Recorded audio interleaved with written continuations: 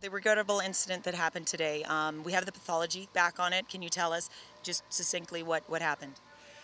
Okay, so the diagnosis uh, is a ruptured aneurysm in the aorta, uh, close to one of the kidneys.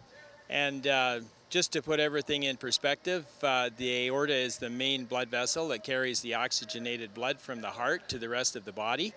And uh, in horses, uh, very common that they have parasites that do migrate in as part of their life cycle through the, some of those major vessels.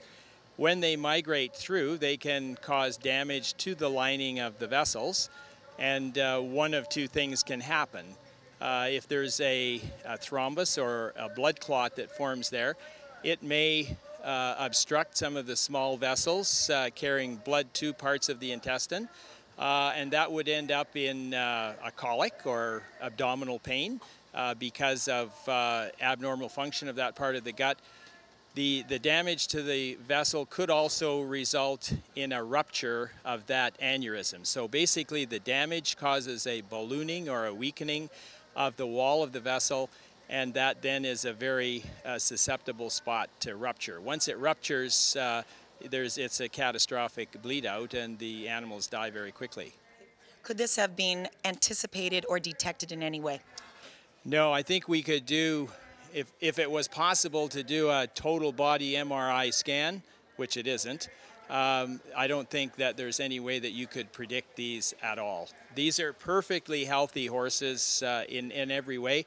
Uh, I, I, guess uh, many people may be familiar with the famous jumping horse Hickstead that uh, you know died after competition, and that's the the typical uh, cause of death in that situation as well. Uh, so it happens in healthy, fit, sound horses.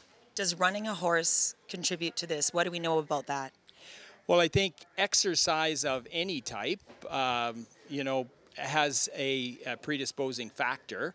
Uh, we, we see these happen in stallions following breeding, in ponies following, you know, jumping, in racehorses following racing. So uh, horses are athletic animals, and uh, in any of their activities, that probably you know elevates the the prevalence of a, a condition like this happening. And how could you prevent these parasites to begin with? Is it preventable? It, it's preventable by good, uh, good management, good uh, feeding management, uh, and good uh, management uh, using anthelmintics to uh, control the parasite load. I know that many of these chuckwagon horses are dewormed as often as every six weeks to two months. And so the drivers are fully aware that parasites are a common issue that they have to deal with with all horse management. Uh, horses on pasture are much more susceptible to picking up heavy loads of parasites simply because the life cycle of the parasite uh, is completed, uh, you know, out on pasture. Horses that are fed, uh, you know, in buckets, uh, in confined conditions, uh, the risk of spread is not nearly as great. So um, would it be recommended that um, the chuckwagon horses be in stables being fed out of a bucket all year round? No, I don't think so at all. I mean, horses love to be out on pasture running, and uh, most of these horses, uh, they're, uh, you know, in, in confined conditions for the race season, and for the rest of the year, they're turned out to pasture uh, in their natural habitat.